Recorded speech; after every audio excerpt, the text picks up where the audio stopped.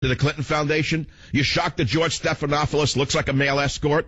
He's been a male escort of the uh, Democrat Party from the day he started. He never was a journalist. Never. He's always been a pretty boy uh, escort for the Democrat Party.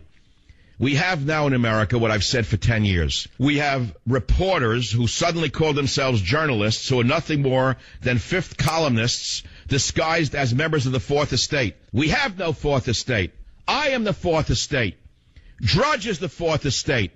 About 10 websites of the fourth estate. That's it. There is no fourth estate. Do you know what the fourth estate is? Okay, it's the fourth estate. We're supposed to stick our fingers into the side of the liars in government. We're supposed to be those who keep them in line.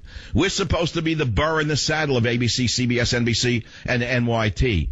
But when we become the same as them and we're not the burr in the saddle, what are we? Prostitutes. And so therefore, I say to you, going back, circling back to my first story, on the headline, we were told that the great Delta Force uh, killed a key ISIS figure, Abu Sayyaf, and then they captured his wife and great intelligence, and all the Delta forces came home without a scratch on their shiny badges.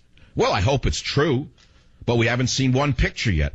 Now, if it is true and we haven't seen one picture yet, the only re- reason is is because Harvey Weinstein is still in Cannes.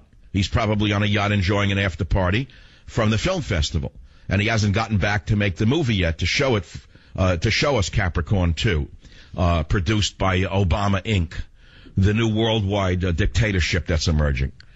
You got the race hater in the White House every day now giving a speech, turning black against white, white against black, black against Asian, Asian against black, every day in every way, the same rotten, stinking people running the world. I'll be right back. Savage. Here we have ISIS taking over one major city after another. And this clown is talking about climate change posing a threat uh, to national security. Only in America could it get away with it because we no longer have a fourth estate. We have a fifth column with a single party of left-wing demagogues running everything from top to bottom. Hour number one, I spent explaining to you in some detail what went on in Germany in the 1930s on the birth of the Gestapo under Adolf Hitler, how it was done step by step, step by step, stage by stage. And I compared it to what he's doing to our police in this country, uh, step by step, day by day, city by city. I'm not going to repeat myself. I suppose it'll be webcast, however they do this, podcast on various and sundry websites. I suggest you listen to it and share it with people.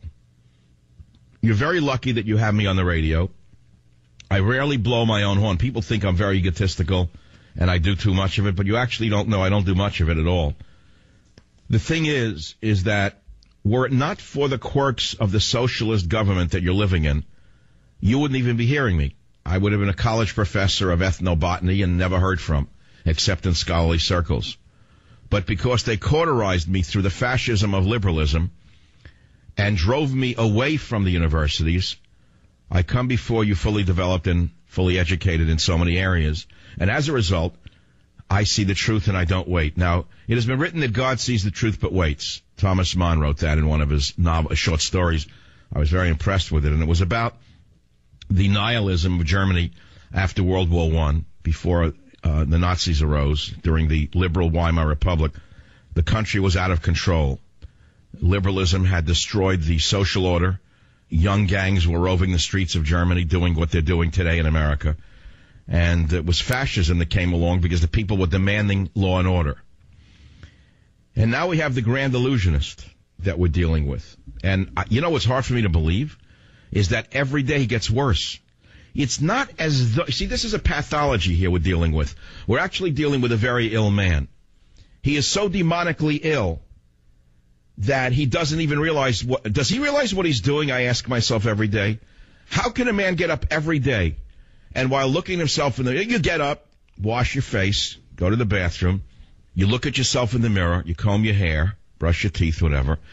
Does he say to himself, what can I do to destroy white America today? How can I destroy the power structure every day? How can I weaken this country even further? Is that what he's doing? Because there's no other explanation for his activities. It's as though a man wakes up every day and says, how can I weaken the European American dominance of this country?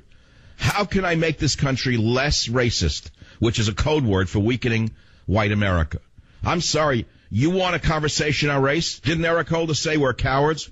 Didn't Eric Holder say that we're too cowardly to have a discussion on race? Well, let's have a discussion on race. He wants us to talk about it. I am talking about it. I am so sick and tired of hearing how evil white men are. I am so sick and tired of hearing how oppressed the black people are. I am so sick and tired of hearing how great every Hispanic is that I want to have a conversation on race. So that's what we're doing. We're having a conversation on race. Since Eric Holder said that we're all cowards on it. White men are evil, Hispanics are all Einsteins, and black men are all oppressed.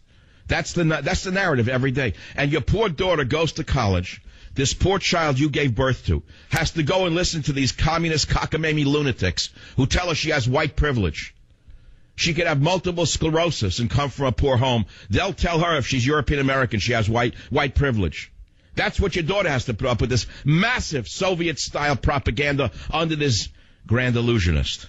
I want to shift though to something entirely different. We have no authority figures to believe in. We have no government to believe in. That's why I wrote Government Zero, and it's not an infomercial.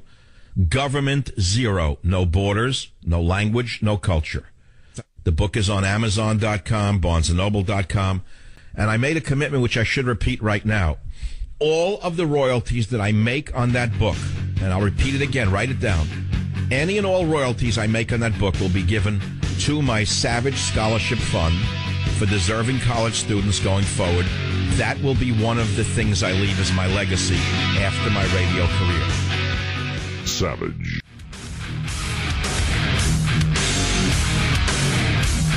I'm aware I may not be the youngest candidate in this race, but I have one big advantage. I've been coloring my hair for years. Yeehaw! You're not going to see me turn white in the White House. So she is overtly either clinically psychotic. And the reason I say that is that she's trying to sound like she's from the South when she isn't, a spoiled Northerner with the best of advantages, like Obama, who again tries to get down with the uh, the gutter people, let's say in Ferguson, to make believe he's one of them. It's typical of, of lying politicians, but this one I say is psychotic because she used this voice before and had been ridiculed for it for years, and here she is falling apart in the polls because everyone knows what a thief and a liar she is. At least they think she is. That's the common perception is that she's a thief and a liar.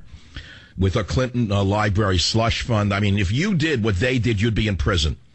The IRS would hit you harder uh, than any heavyweight boxer has ever hit an opponent for what they are doing and getting away with because they own the government. There's a government of the powerful, by the powerful, and for the powerful. Make no mistake about it. But nevertheless, put that aside. She goes to the Main Street Bakery in the South and she uses a fake accent that any Southerner would laugh at. So Todd Starnes writes, I was surprised Miss Hillary didn't show up at her campaign rally in bare feet, waving a cast iron skillet and singing Dixie. it's very funny stuff. My point is she's using propaganda or attempting to use propaganda to sell herself. Next, she'll appear at a old age home in Boca Raton where there are still old Jews left who may be over 80 who still speak with a rising uh, in inflection at the end of their sentences, and she'll make believe she's from Brooklyn. You think I don't like a Knish? You think I'm not for Israel? Obama does the same thing. The only people that don't do it are the square conservatives. Either they can't do it, they don't have the art to do it, they're too embarrassed to do it, but as a result, people think that they're squares. They can be wonderful people. And I'm trying to say to you that only by maligning the enemy and the, and the opposite of what I'm saying, or to complete what I'm saying on the other side of the moon, maligning the enemy will defeat the enemy. So in this case, I'm maligning Hillary Clinton for being a phony. But she's not our biggest problem. Our biggest problem is ISIS. And I'm going back to World War II when a powerful propaganda machine helped the United States win the war in the Pacific. Frank Capra, Great film director.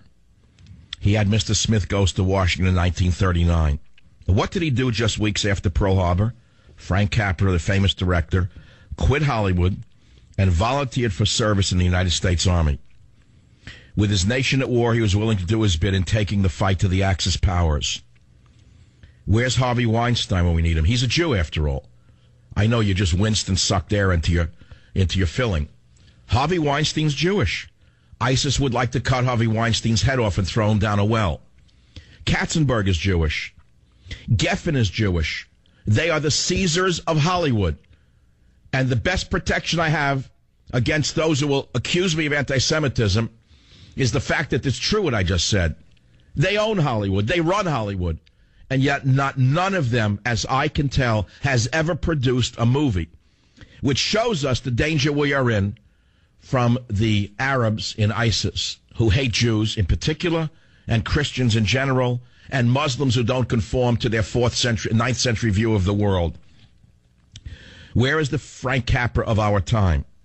So Frank, Frank Capra leaves the military, volunteers for service in the U.S. Army.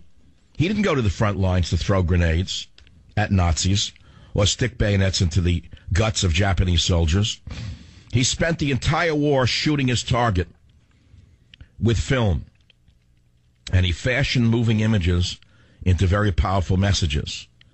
And what his weapon was was not a Thompson submachine gun, but a bulky movie camera. And over the war years, Frank Capra and his team produced seven documentary style movies.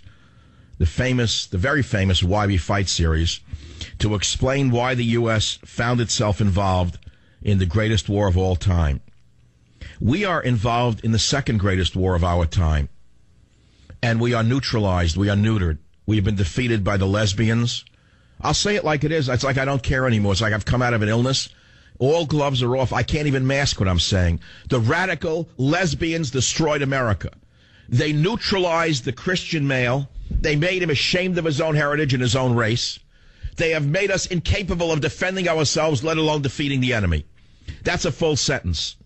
It started with the vile, the vile mouth of Bella Abzug. And here we are today where people are afraid to say the truth about ISIS, who both enslave young girls, rape young girls, kidnap women, turn them into slaves. Everybody knows this. When have you last seen a movie showing the enemy for what they are? When have you seen a Harvey Weinstein flick starring let us say, Sean Penn as a valiant officer who goes to the Middle East and sees the rapes, the murders, and the kidnapping. Never. And you'll never see it because we don't have a Frank Capra. We have the opposite right now. We have propagandists in Hollywood who, instead of using their genius and never underestimate their genius, instead of using their genius to help us form a war against the enemy, shape the minds of our young and our soldiers, to get ready for the fight that we're fighting right now. Instead of doing this, the Weinsteins and the Geffens and the Katzenbergs and the Spielbergs of our time use all their efforts to debase the white Christian heterosexual male in subtle ways, of course. They don't do it as overtly as they did five or six years ago, but it's there in my estimation. I can show you five different movies where the enemy is the white heterosexual Christian male. And by the way, in that that that legion of Hollywood titans I mentioned, I would say the least offensive is Spielberg. At least he has to his credit the great movie Saving Private Ryan, which was ultimately an anti-war movie, by the way. Make no mistake about it. It wasn't the Why We Fight movie. Brilliant, wonderful, excellent. But it wasn't Why We Fight. It was more like Why Should We Fight? If you actually studied it, as I have. That's my job, is to look beyond the beyond. And so, as again, I want to say maligning the enemy is something we don't do. We've been neutralized by very, very powerful forces in this country. And so you never see a movie showing an Arab as the enemy. Never. That, that's even though Jordan tells their own people how dangerous ISIS is and they're a Muslim country. We are so, I don't know what word to use. I know what word to use. I can't. It's a family show. We've been so deballed that the people in this country don't even know what's going on over there. Then there were artists and writers who took it upon themselves to poke, provoke, prod, and otherwise persuade the average civilian at home how evil the Germans and Japanese were in World War II. And these propagandists produce messages in newsreels, billboards, print ads, on the radio, everywhere you turned. imaginable and otherwise, there was a propaganda film or a propaganda poster during the years of World War II. Where is the propaganda?